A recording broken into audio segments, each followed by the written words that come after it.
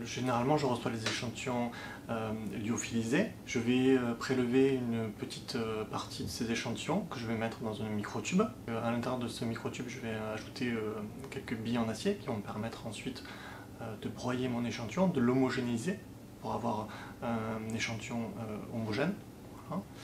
De cet échantillon, je vais prélever une euh, toute petite quantité que je vais introduire dans une microcapsule en étain. Cette microcapsule va être ensuite euh, conditionnée de manière à obtenir une, sphère et cette petite quantité d'échantillon va être ensuite euh, introduite dans un, passeur automatique, un autosampleur, l'autosampleur de l'analyseur élémentaire qui est couplé à un spectromètre de masse et cet, cet, échantillon va être analysé pour les isotopes stables du carbone et de l'azote. notre échantillon est introduit dans un passeur automatique euh, ce passeur automatique va faire euh, euh, tomber notre échantillon, notre boulette, dans une première colonne, une colonne de combustion, à l'intérieur de laquelle cette colonne est à 1020 degrés.